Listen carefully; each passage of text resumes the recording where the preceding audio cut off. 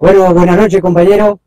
Eh, en la reunión que tuvimos anoche habíamos decidido de que eh, el Ensur despidió a tres compañeros y aparentemente viene por más, pero no es que está sobrando gente porque están saliendo en los diarios de que, necesitan gente, o sea, eh, es una decisión que tomó, tomó la, el directorio de, no sé, de perseguir a la gente.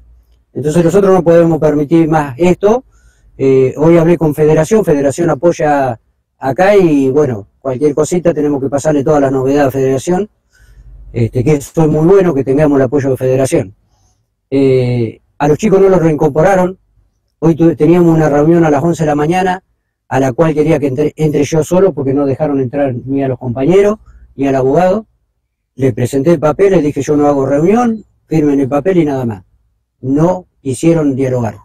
Entonces creo que esto ya se terminó, esto tenemos que ir todos juntos con, esto porque hoy vinieron por esos dos chicos o tres chicos y mañana vienen por cualquiera de nosotros. Entonces, eh, la medida esta creo que, es justa y es, eh, no, no, es nada ilegal.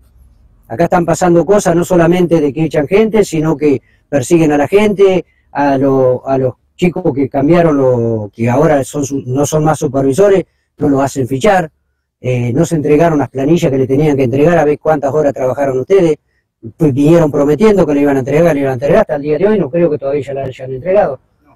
Entonces, muchachos, este, nosotros vamos a hacer un paro pacíficamente y este, como, como dice la ley. Este, acá, acá nada, incluso vinieron a decir que no, no se había informado cuando yo llamé recién y me dijeron que fueron notificado ellos en cinco correos electrónicos, así que este, siempre mintiendo, ahora quisieron sacar a los compañeros para allá, ¿para qué? ¿Para apretarlo? No, muchachos. No, no, si estamos en un paro, ¿cómo lo va a sacar la empresa? Para, una falta de respeto y una falta de respeto a todos ustedes, una falta de respeto a nosotros. No quisieron dialogar y ahora quieren, al intendente le vengo pidiendo, años le vengo pidiendo una reunión. Y nunca me atiende él, me atiende siempre un, un segundo, un tercero y no me atiende él. Entonces, ya está, muchachos. Yo le agradezco, le agradezco a todos, muchachos, y bueno, yo me voy a quedar toda la noche. Ustedes quédense tranquilos, ahí no se expongan. Eh, si me tienen que dar, que me den a mí. Yo voy a quedarme toda la noche, si me tengo que quedar mañana todo el día, me voy a quedar pasado, traspasado, así tenga que dormir, ya traje aquello ahí, este, así tenga que dormir acá, muchachos. Ustedes, ustedes me eligieron, me votaron, y a la comisión directiva, y yo vengo a poner el pecho a las balas y que todo caiga contra mí, que todo caiga contra mí. Yo no tengo ningún problema. Que si esta gente está acostumbrada a, con amenaza y eso, este, conmigo no, conmigo no, eh, que, vayan a amenazar a otros.